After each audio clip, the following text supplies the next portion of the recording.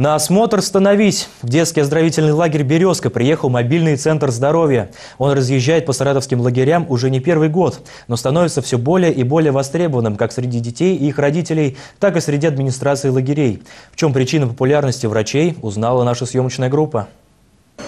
Рост 156,5. Отходи. Рост, вес, сила и содержание жира. С этих самых простых исследований начинается профилактическое обследование каждого ребенка. В детский лагерь «Березка» приехал мобильный центр здоровья. Все самое интересное внутри.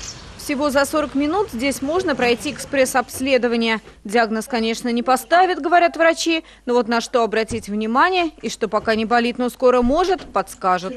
Основная нас задача – это научить детей здоровому образу жизни.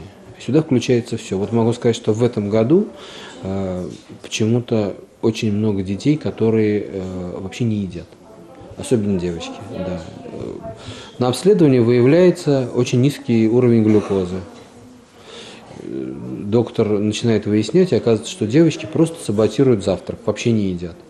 Ну, это обусловлено, наверное, э, тем, что девочки подрастают, хотят быть красивыми, стройными, но это настолько в ущерб здоровью, что они, в общем, даже этого не понимают.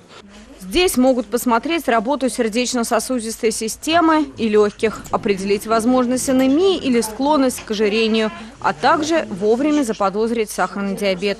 Прямо за этим столиком у ребенка возьмут кровь и определят глюкозу. За соседним проверят работу сердца, сделают ЭКГ.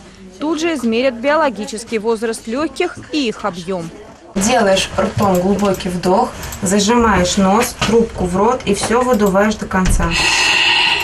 Такие мобильные центры работают в нашей области в рамках федеральной программы «Здоровье» уже три года. Стационарные центры – пять лет – уже за 4 месяца этого года в них было осмотрено около 17 тысяч детей. Три с половиной тысячи детей осмотрено в лагерях по итогам прошлого года. Здесь выявляются все риски заболеваний, а таких детей у нас практически выявляется около 70%.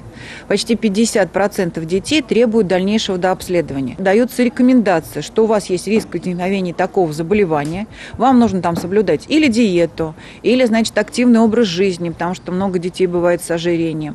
То есть или, э, опять же, наоборот, не заниматься тем или иным спортом, потому что это не рекомендуется в состоянии вашего здоровья. То есть родителям даются полностью рекомендации. По итогам обследования с каждым ребенком беседует педиатр, для родителей выдается вот такой вот лист.